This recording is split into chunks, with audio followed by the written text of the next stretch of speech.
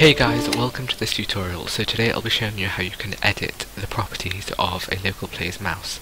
So the first thing you want to do is insert a local script into starter GUI and then you want to create a local variable of the player's mouse. So local mouse equals game.players.local player and then get mouse and a set of parentheses.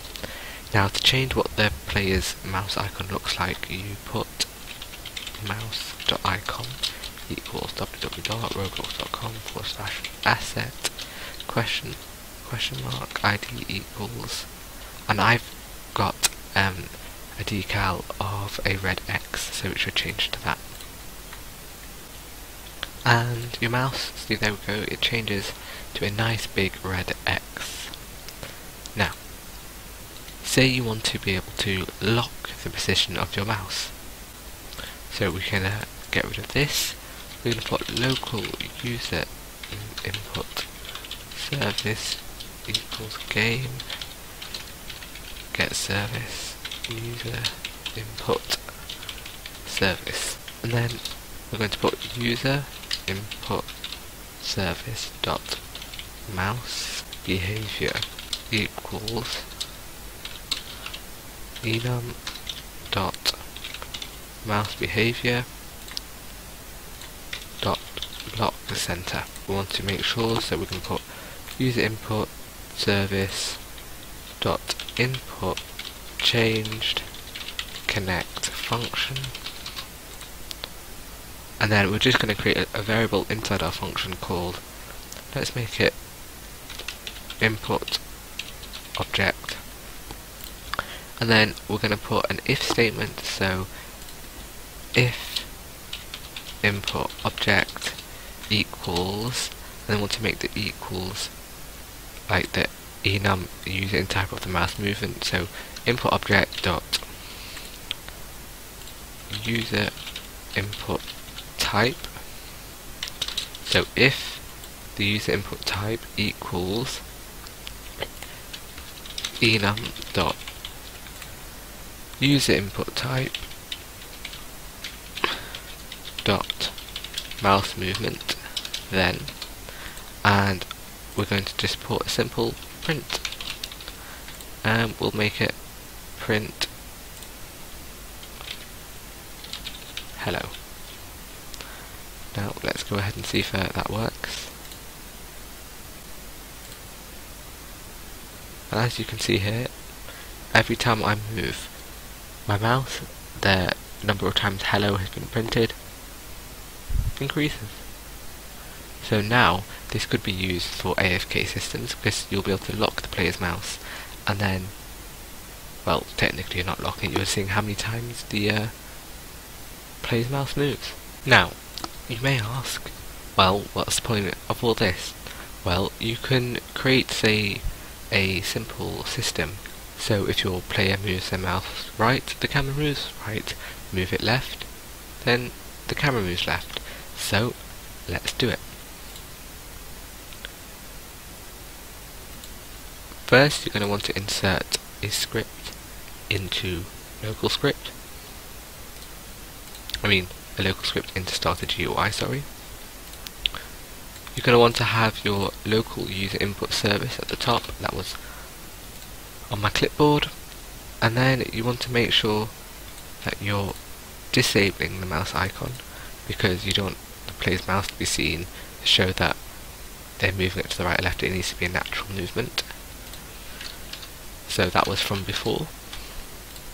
Um, and then obviously we want a reference to their player's camera, so local camera equals game dot workspace dot current camera, and then you want to change the camera type to scriptable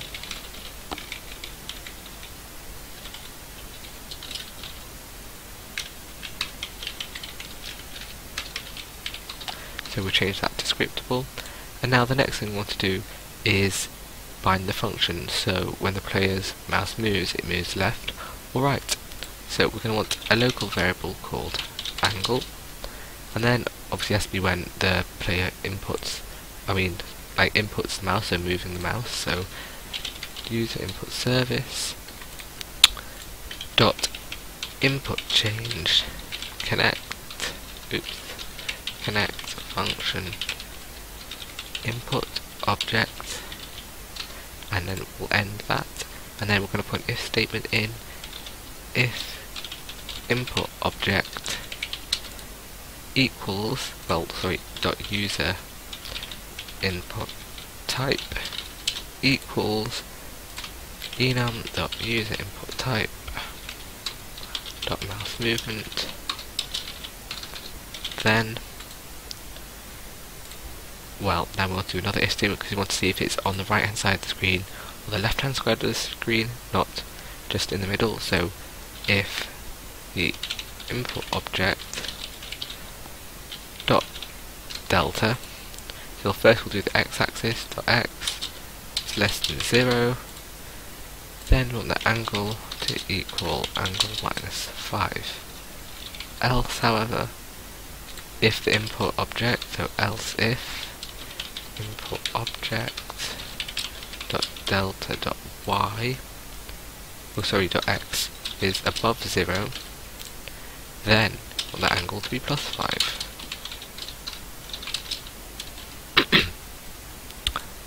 and now oops sorry little typo there. It needs capital A. Gosh that's annoying. So now once you've done that you want to make sure that every time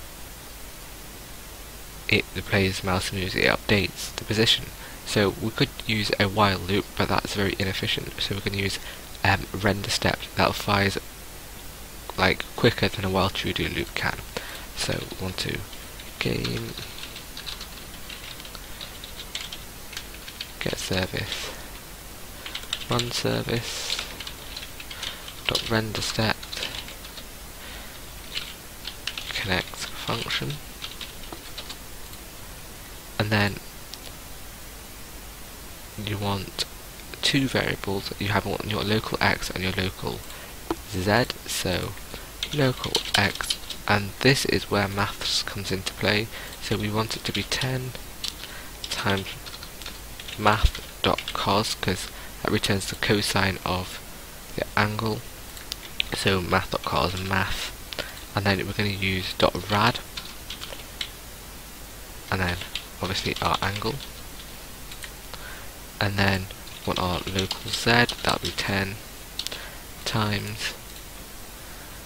Um, that'll be we can use the sine rule now so math dot sine is math dot rad angle.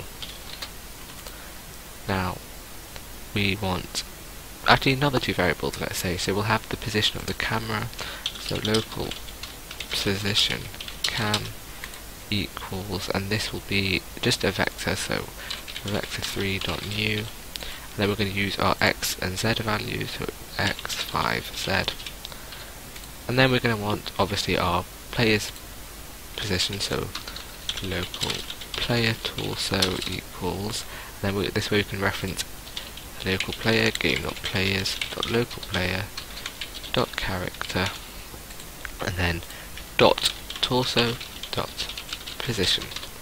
Now all we need to do is make the cam position add the torso position. So the position of the camera equals position of the camera plus player torso. And you want to update the camera coordinates. So camera, so this will be a coordinate frame and then that will equal this C frame of well your cam position and your torso position.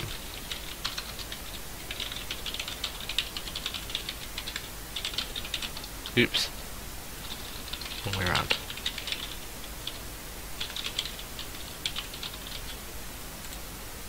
Let's try that. See look, you can see my mouse on the right side here, but when I put it in, you can't see it. This is because I made it invisible, and not when I twist my mouse, it'll only spin it. I can't move it up or down, and that's precisely what you wanted.